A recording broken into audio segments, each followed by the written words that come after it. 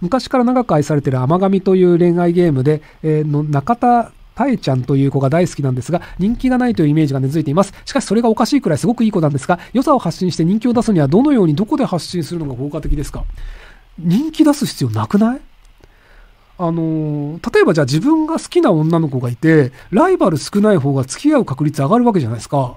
だから別になんか、その人気なくていいんじゃない？架空の人でも。自分が好きっていうのがあれば、それで十分だと思いますけども。